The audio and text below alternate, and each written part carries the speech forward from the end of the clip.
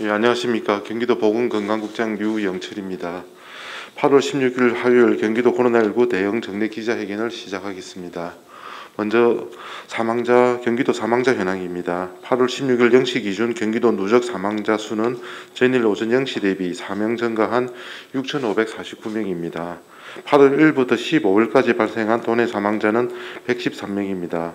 이 중 60세 이상은 108명, 80세 이상은 73명으로 각각 96%, 65%를 차지하는 등 대부분의 사망자는 고령층에서 발생하고 있습니다.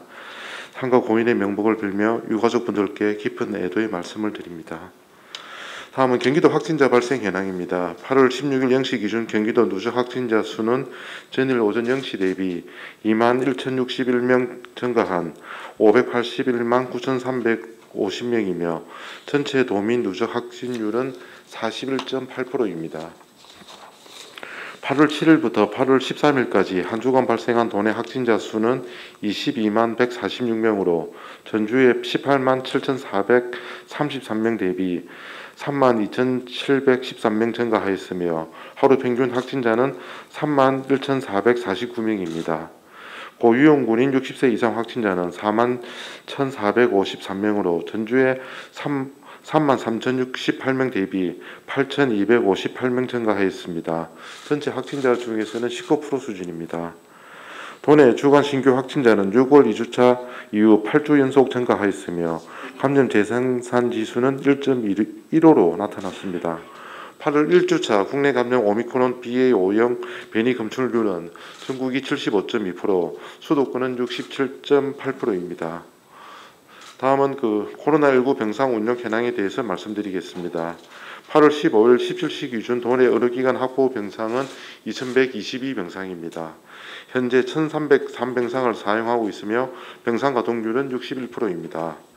경기도는 위중 증 환자 증가에 선제적으로 대비하기 위해서 290병상 중 254병상을 확보하였으며 나머지 36병상도 단계적으로 추가 확보할 예정입니다. 병상 가동률에 따라 병상 추가 확보가 사질 없이 진행될 수 있도록 계속 노력해 나가겠습니다. 다음은 재택치료 운영 현황입니다. 8월 15일 18시 기준 도내 재택치료 환자는 16만 62명입니다.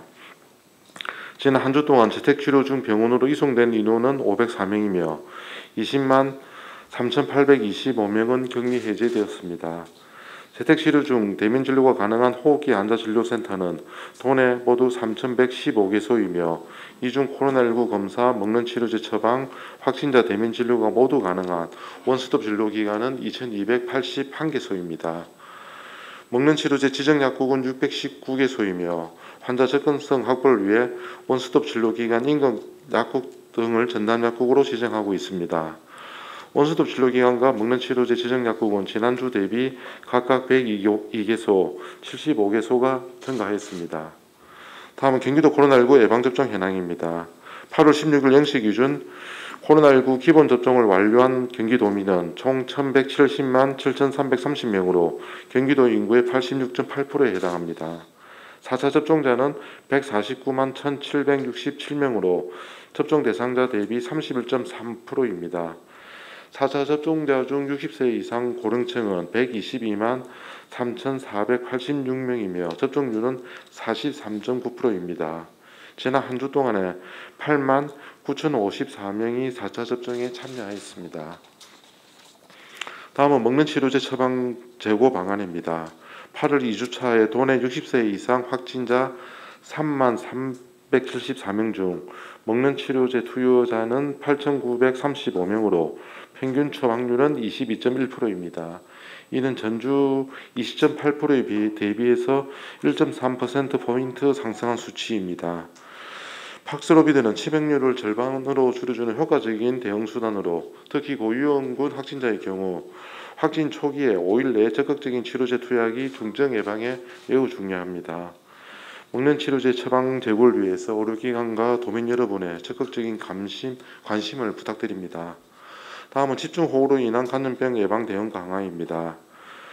8월 9일 행정안전부 집중호우 심각 단계 발령에 따라 이재민의 코로나19 등 감염병 발생 모니터링을 위해 일일 감시 체계를 운영 중에 있습니다.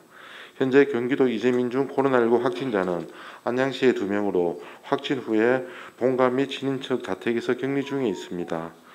이재민 임시주거시설에 대해서 이들 2회 이상 방역소독 및 자가검사 키트를 제공하고 소독제, 마스크 등 방역 물품을 배부하였으며 감염병 발생 사항을 지속적으로 모니터링하고 확진자 발생 대비해서 신속한 이송 체계를 구축해 나가겠습니다. 앞으로도 경기도는 31개 시군과 함께 코로나19와 집중호우 극복하여 도민의 안전을 위해서 최선을 다해 나가겠습니다. 네, 감사합니다.